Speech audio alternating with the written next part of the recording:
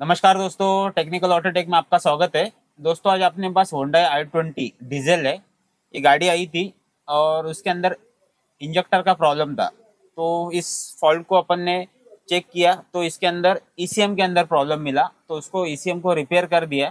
तो इसको अपन अनटेबल टेस्ट करेंगे कि अपना ये इंजेक्टर काम कर रहा है क्या? मतलब इंजेक्टर फायरिंग करता है, वैसा फायरिंग कर रहा है क्या? तो उसके लिए मैंने यहाँ पे सेटअप कर दिया है।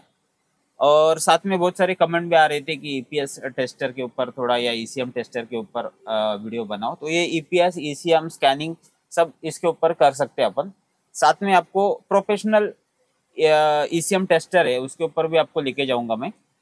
तो पहला तो इसके अंदर जो इंजेक्टर का प्रॉब्लम है, वो अपने उदिल सर ईसीएम रिपेयरिंग के मास्टर है। उन्होंने वो फॉल्ट को रिपेयर कर दिया।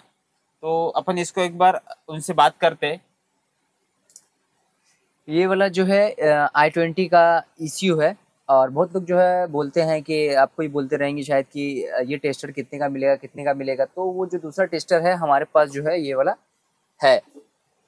तो पहले जो है मैं काम जो है दोनों का सेम ही है। तो पहले जो है इसको फायरिंग करके दिखा देता हूँ कि ये किस तरीके से फायर करता है, फिर इसके अंदर बता देता हूँ। और दोनों बोर्ड जो है रिपेयर कर चुके हैं हमने। और इसको जो है मैं फायरिंग करके दिखाता हूँ। तो मेरा यहाँ जो डीसी सप्लायर है मैं ये ऑन किया। उसके बाद आरपीएम को अ, कम हम लोग करेंगे देख लीजिए ये जो है फायरिंग हो गया। उधर जैसा ही उस साइड हम लोग करेंगे ये स्लो फास्ट इसके अंदर हो जाएगा। तो यहाँ से जो है मैं आरपीएम को कंट्रोल कर सकता हूँ। ये जितना स्लो करना रहेगा मैं स्लो कर सकता हूँ। और जितना फास्ट करना जो है मैं उतना फास्ट जो है यहाँ से कर सकता हूँ। ये देखो। तो ये वाला तो हो गया एक हमारा जो है ये मैं अपने लिए जो पर्सनल जो यूज़ करते हैं हम लोग, वो ये वाला है हमारा क्योंकि हमारे को उतना जो ये करने की ज़रूरत नहीं सीधा सीधा हम लोग सोल्डिंग करते हैं और सीधा चालू कर लेते हैं गाड़ी। और जो प्रोफेशनल है, इसको मैं बंद करता हूँ पहले। बंद कर दिया। अब ये वाला जो है प्रोफेशनल है, जो सेल के लिए जो हमारी टीम ने बनाई हुई है तो अब इसको जो है मैं आपको बताता हूँ कि किस तरीके से होता है। जैसे कि मैं ये ऑफ़ किया मैं। ये जब मैं ऑफ़ किया तो देखिएगा टोटल टोटल लाइट चला गया है। और मैं जब ये ऑन करता हूँ जब मैं ऑन करता हूँ तो देखिएगा ये डिस्प्ले आ गया। अब आपको जो है टच टच स्क्रीन वाला जो है आपको देखने को मिलेगा, जो शायद ही कोई जो है बनाया रहेगा। टेस्टर मेरे ख्याल से तो अभी तक तो बना नहीं है, लेकिन जो है हमारी टीम ने रेडी किया है और इसको जो है हम लोग, क्या ये हमारा वर्ना फ्लूडिक है तो ये ईसीयू तो हम लोग जाएँगे होंडाई में। आप देख सकते हैं इधर बहुत सारा है। मारुति है होंडाई है महिंद्रा है फॉर्ड है शेरवोलेट है फीएट है निसान है रेनॉल्ट है स्कोडा है टाटा है टोयोटा है एंड वॉल्सवैगन है। मोस्टली इंडियन गाड़ी जितनी जो है सब इसके अंदर कवर की गई है। टोटल गाड़ी जो है इसके अंदर है इंडियन मारुति में आप देखोगे तो मारुति के अंदर जो है Alto hero three Alto hero four Alto K ten Baleno Baleno petrol Brezza diesel Brezza petrol Ciaz diesel Ciaz petrol Eeco B one B two Eeco B three B four Eeco B five B six मतलब बहुत सारे आपको मिल जाएँगे। Kesari Swift diesel petrol X four K ten van van hero four Wagon R R आपको जो है बहुत सारे यहाँ से जो है इसमें बैक होता है। उसके बाद आप महिंद्रा में ले लो तो महिंद्रा में भी जो आप जाइएगा तो इसके अंदर जो है महिंद्रा के अंदर मैं स्टार्टिंग से बताता हूँ, ये बुलेरो है। बुलेरो के अंदर भी बहुत सारे टाइप आते हैं, वो है, उसके बाद ये Bolero B S six three cylinder है।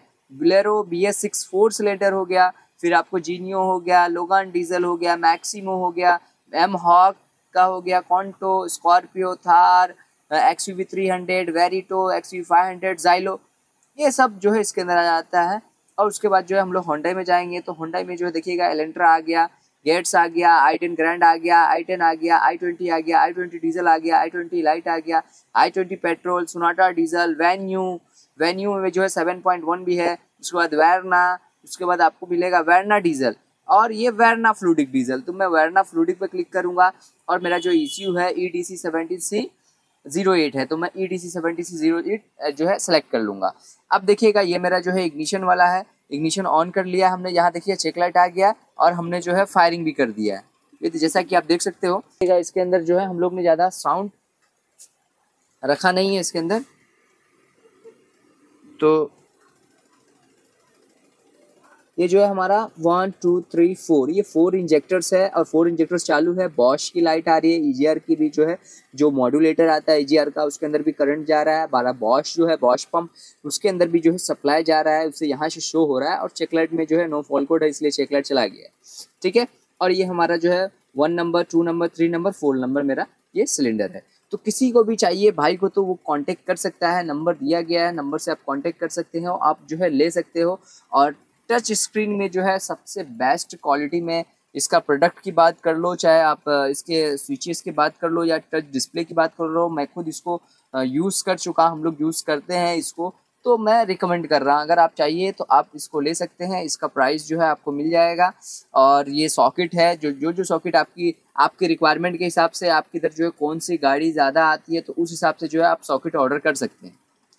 ठीक है? थैंक यू साथ में भी इसको अपन ऑफ़ करते ऑफ़ करके मैं मेन ऑन करूँगा और इग्निशन को ऑन करता हूँ मैं। इग्निशन ऑन किया, यहाँ पे चेक लाइट आ गया और साथ में हीटर लाइट भी आ गया। तो एक बार वापस दिखाता हूँ ऑफ़ किया ऑन किया, यहाँ पे हीटर लाइट आके चला गया। देखेंगे वापस एक बार। ऑन किया हीटर लाइट आया, चला गया कि डीजल है। गाड़ी इसकी वजह से हीटर लाइट आएगा और ये चेक लाइट आ गया। जैसे भी मैं इसको क्रैंक करूँगा क्रैंक लिखा है यहाँ पे। पे इंजेक्टर फायरिंग स्टार्ट हो गया। तो आपको professional E C M tester चाहिए तो आप इस पे जा सकते हैं।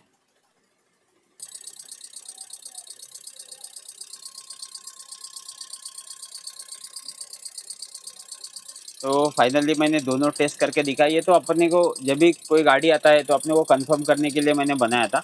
लेकिन प्रोफेशनल है, आप तो प्रोफेशनल में जा सकते हैं।